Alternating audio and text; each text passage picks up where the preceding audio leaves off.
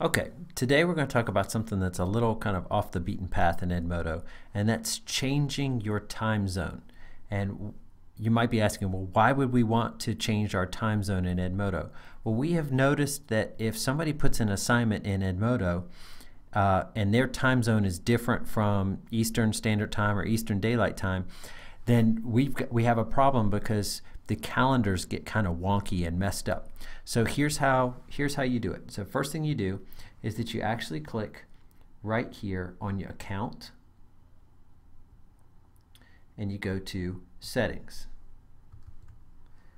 Now here in your settings, if you scroll down just a little bit, you're going to see where it says time zone, America, New York. Now I've already set mine, but this comes in as a, a bizarre, weird, I don't even know what it is. It's a it's just a standard time for all of all of Edmodo, I guess, but we're not on Edmodo standard time. We're actually on Eastern time. So what you need to do is you need to, to click on this and and find uh, America and New York because that's the time zone that we're on. It takes a little bit. So I'm going to keep going. America, America New York. Here I am. I'm going to click on it.